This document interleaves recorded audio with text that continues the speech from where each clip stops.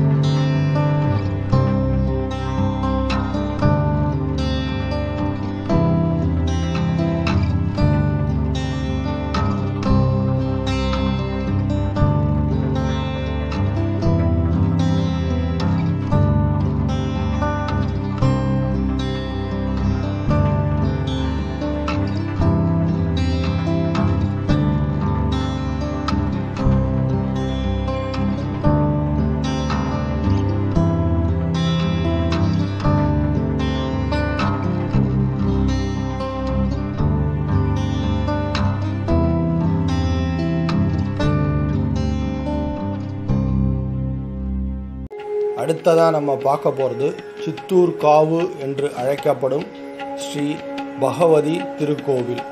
இந்த காவு மிகவும் புராதனமான மற்றும் பழமையான கோவில். சுமார் ஆயிரம் ஆண்டுகளுக்கு முன்பாக கட்டப்பட்டதாக சொல்லப்படுகிறது. இந்த கோவிலில் ஆறடி உயரத்தில் பத்ரகாளி வெகு உக்கிரமாக காட்சியளிக்கிறாள். இந்த கோவில் செவ்வாய் மற்றும் வெள்ளிக்கிழமைகளில் மட்டும்தான் திறந்திருக்கும்.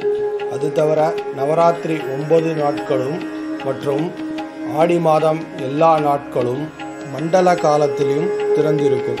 ஒவ்வொரு வருடமும் மலையாள மாதம் கும்ப மாதம் அன்று கொங்கன் படா என்ற திருவிழா மிக சிறப்பாக கொண்டாடப்படுகிறது. இந்த தேவிக்கு சாந்தாட்டம் என்ற வழிபாடு மிக சிறப்பாக செவ்வாய் வெள்ளிக்கிழமைகளில் நடைபெறும். இத்திருக்கோவிலில் பராமரிப்பு பணிகள் முடிவடைந்து சில மாதங்களுக்கு முன்பாக மகா கும்பாபிஷேகம் நடைபெற்றது.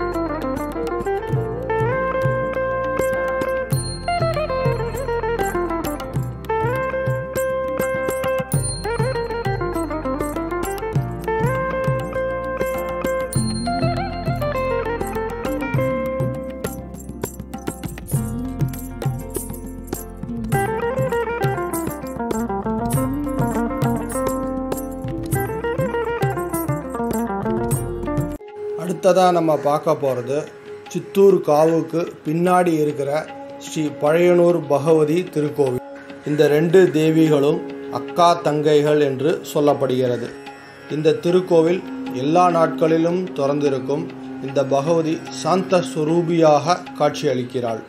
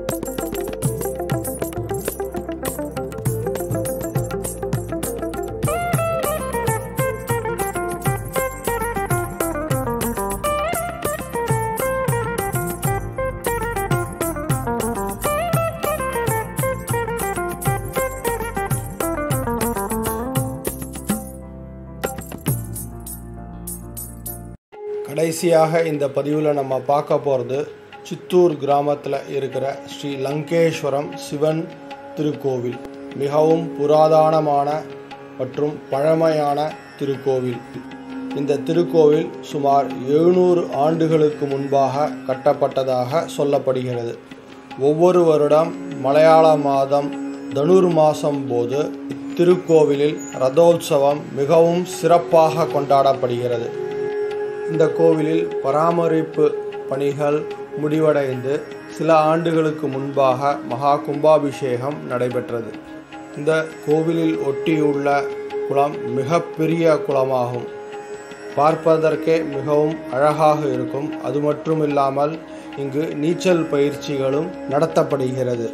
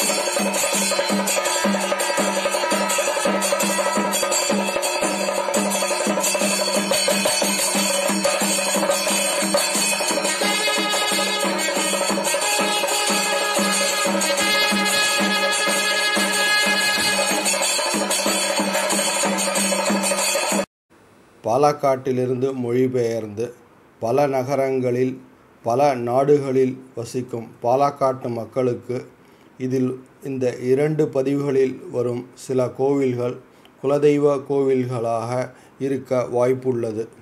அவர்களுக்கு இந்த இரண்டு பதிவுகளையும் சமர்ப்பிக்கிறேன். நன்றி வணக்கம்.